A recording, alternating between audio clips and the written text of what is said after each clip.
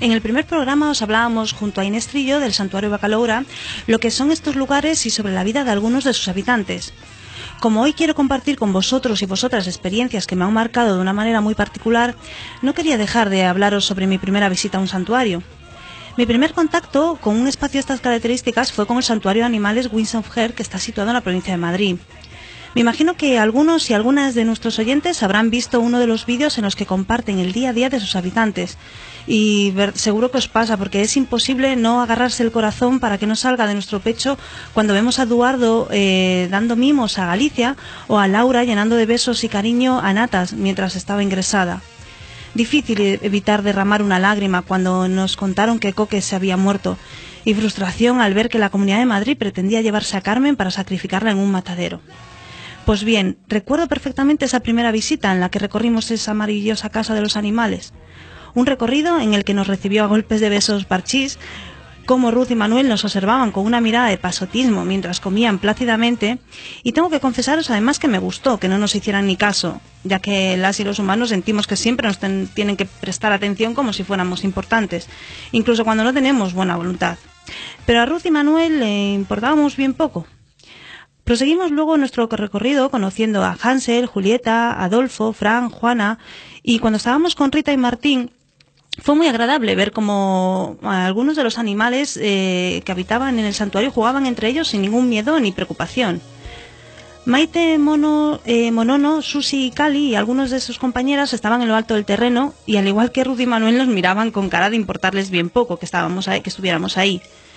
De vuelta hacia la entrada conocimos a, a Lemis y a Harriet y aprendimos cómo ellos no ensucian su zona de dormir siempre y cuando tengan un terreno donde poder hacer sus necesidades y jugar.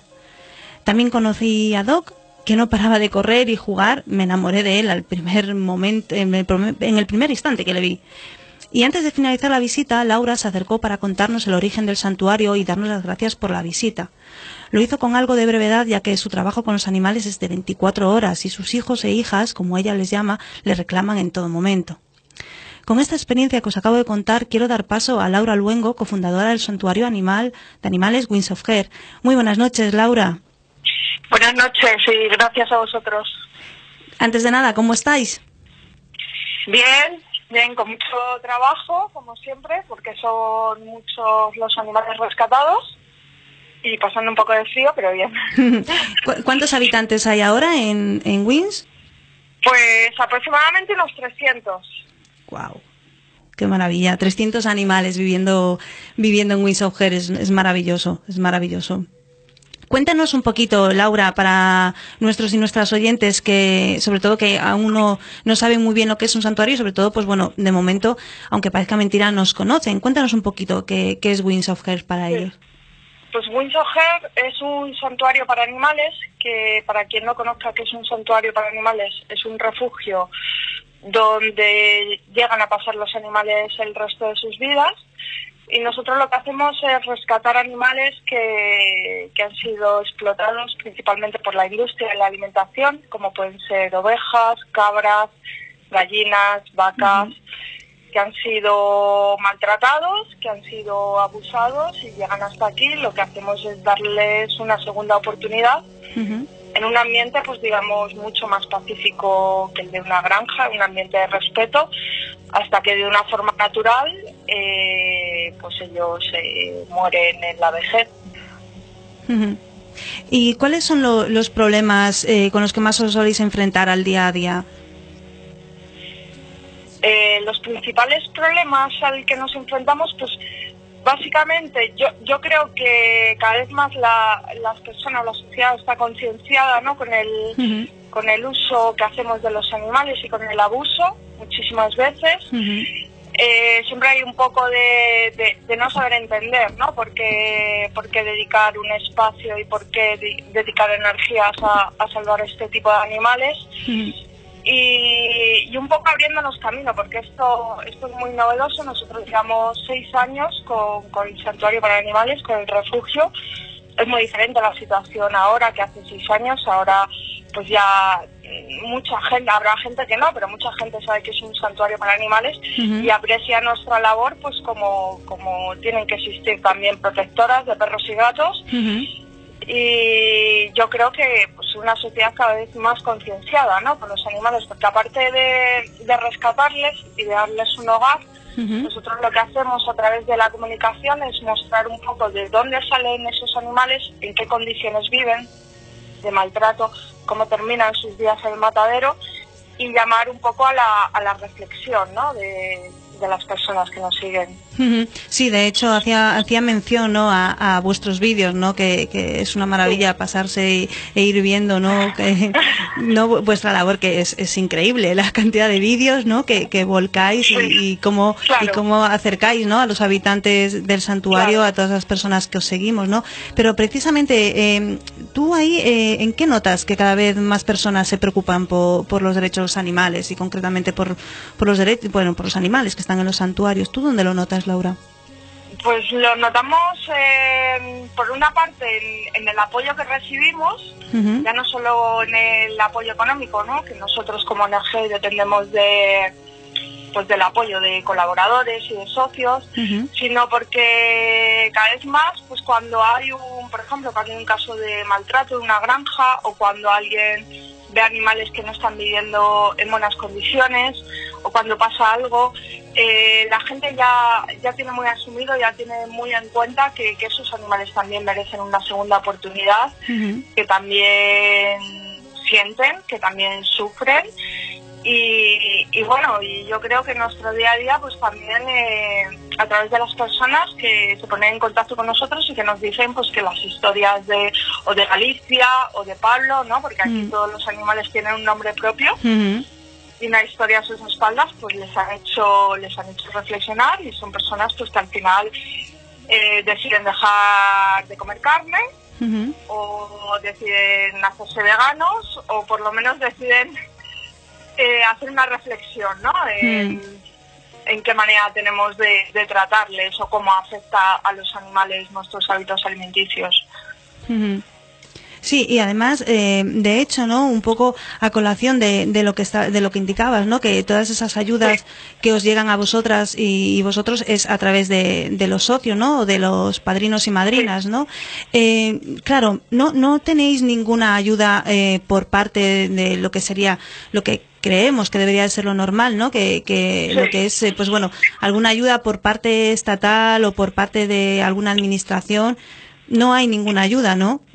Hacia los animales. No, lo que es el gobierno, digamos, o las administraciones, no, no recibimos ninguna ayuda pública. Y es más, yo creo que la situación para nosotros y para el resto de santuarios, que ahora mismo son, creo que más de 20 santuarios en el Estado español, muchas veces son, son dificultades, porque, porque nosotros, bueno, hay un vacío legal, estamos registrados como granjas, pero evidentemente pues no, no es una explotación ni se hace una actividad de granja. Mm, y muchas veces pues son, son dificultades, ya no es que te den una subvención, mm. sino muchas veces es como, bueno, ayúdame por lo menos a poder salvar esos animales, ¿no? Ayúdame en, en, en el papeleo, ¿no? Porque cuando llegan aquí animales, pues tienes que contar con el apoyo de las administraciones para que te hagan los papeles de unos animales que están en una granja, lo mismo que se ha abandonado y que están entre cadáveres. Hmm. Y la verdad es que eh, en ese sentido estamos bastante verdes. Claro, de hecho, claro, de hecho eh, también mencionaba eh, justo antes de, que entráramos a, hablar contigo el caso que tuvisteis de Carmen este año. Fue mm. fue este año también, ¿no? Fue como a principios de este año, sí, fue en enero. Sí. ¿No? Como, como ese caso, pues al final era todo lo contrario, ¿no? En vez de tener una ayuda, lo que tú dices, todo lo contrario, ¿no? Era, era la Comunidad de Madrid en este caso, ¿verdad, Laura? Sí, Sí, o sea, nosotros desde que llegamos aquí hace seis años, siempre, siempre por ejemplo, hemos ido a la Comunidad de Madrid, a la Administración, a decirles cuál era nuestra labor, que salvábamos animales, que les dábamos una vida digna, que no queríamos, pues por ejemplo, el ejemplo de los crotales, ¿no? que es una etiqueta que se les pone a los animales en las granjas, pues queríamos identificar a los animales con microchip, como un perro, un gato y, una serie de cosas. Y ya no es que durante seis años lo mismo no te hagan caso hasta que pasa algo y encima o sea, encima tienes que sentir el desprecio, ¿no? De, de cómo te están diciendo que un animal que vive en un santuario bajo tu cuidado eh, tiene que ser asesinado en un matadero y pasar a la cadena de consumo, ¿no? Que, Mm. que es lo es lo más lo más fuerte de todo esto. Sí, es, es casi surrealista, ¿no? Por lo Es casi- claro. sí, y, mu- y muchas veces, en este caso, por ejemplo, hasta que la administración no se da cuenta del, del apoyo público, ¿no? O la trascendencia o la implicación de, de la sociedad en, en ayudar a los santuarios, pues no, no es cuando recapacita en sus decisiones, porque en nuestro caso pues fue por todo el apoyo que recibimos de miles de personas, se recogieron 70.000 firmas en 24 horas que, que ellos recapacitaron y dijeron, ah, vale, pues sí, no, no sois una granja, no, no, no- la ley no obliga a matarla, ¿no? Cuando llevamos seis años intentando encontrar un, un diálogo más pacífico, ¿no? Más de otra manera. Claro, claro. Laura, quería comentarte también, la primera vez que hablamos con Inés de Loura, le habíamos bueno, le pedimos que nos contara la historia de uno de los habitantes del santuario. Eh, sé que es muy difícil pediros esto, pero nos gustaría que compartieras con nosotras y nosotros la historia de uno de los habitantes para, para nuestros oyentes. Mm, Pues, pues bueno, yo creo que eh, voy a compartir la historia de Galicia de Pablo. Galicia es una cabrita que ahora mismo tiene un mes y medio y Pablo es un cordero muy joven que tiene un mes. Y yo creo que sirven de ejemplo de, de muchos de los animales que llegan hasta el santuario.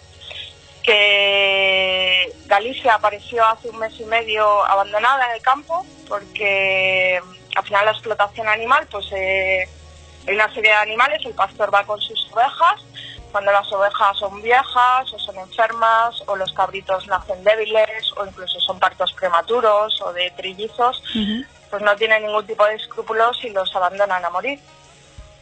Y Galicia la encontró, la encontró una familia, llamó a la policía, llamó a la Guardia Civil, nadie les ayudaba, ellos no querían dejar la cabrita en el campo porque sabían que iba a morir.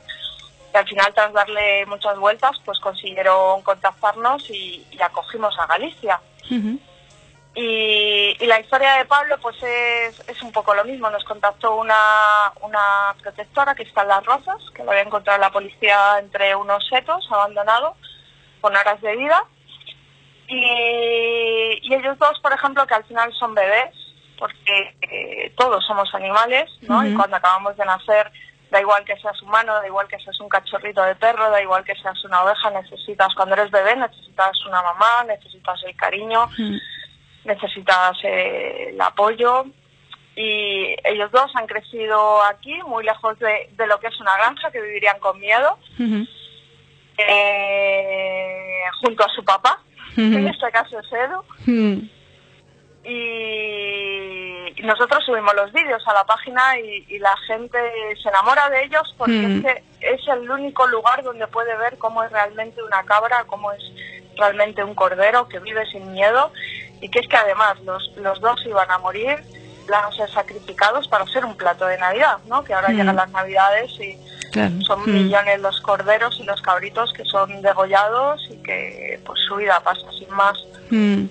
Sí, la verdad es que es que es, es una es una suerte, es una suerte que os hayan encontrado y, y, vamos invitamos a todas y a todos nuestros oyentes a que se pasen por vuestra página, que os sigan en Facebook, porque realmente, como bien dices, los vídeos son una maravilla y te enamoras de cada una y cada uno de los habitantes. La verdad es que es una es una maravilla. Pues Laura, eh, no queremos robarte más tiempo porque sabemos que es importantísimo para tus hijos y tus hijas, así que eh, darte Yo, yo encantada de hablar de ellos. yo, bueno, yo encantada de que nos estés aquí hablando hoy y que nos acompañes. Así que nada, te mandamos un abrazo enorme, no solo para ti, también para Eduardo y para todas y, y todos los habitantes del santuario. Pues muchas gracias a vosotros y un abrazo enorme de vuelta y a todas las personas que nos escuchan. Muy bien, Laura, esta es tu casa. Buenas noches. Buenas noches.